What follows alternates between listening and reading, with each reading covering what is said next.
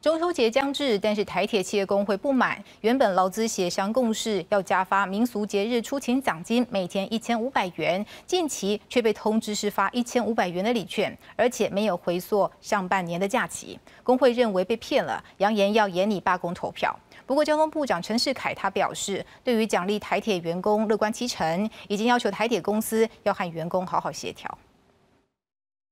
部长，台铁员工待遇低薪了。趁着交通部长陈世凯视察秋节疏运之际，台铁产业工会当面澄清，希望改善员工低薪。而台铁近期公布中秋节发一千五百元礼券作为出勤奖金，更引爆台铁企业工会不满。工会表示，早已经公司劳资会议与董事会通过的加发民俗节日出勤奖金每日一千五百元案，突然变成一千五百元礼券，显示资方对员工漠视与轻忽。加上并未回溯今年上半年的清明和端午假期，违背原有承诺，除了将到交通部抗议，并将在十月底会员代表大会上提案启动罢工投票。代表大会通过完以后，我们就会去筹备罢工投票，取得罢工投票的，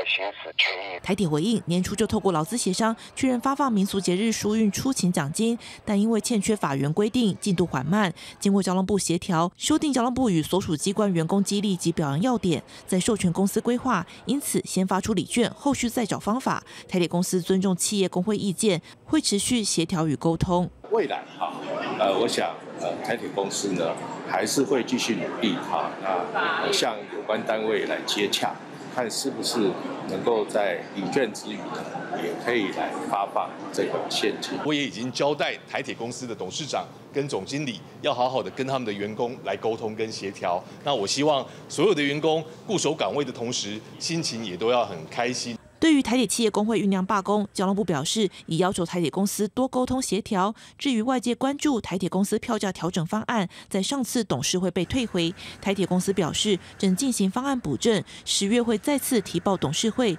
如顺利通过，就会提报到交通部费率审议委员会。记者综合报道。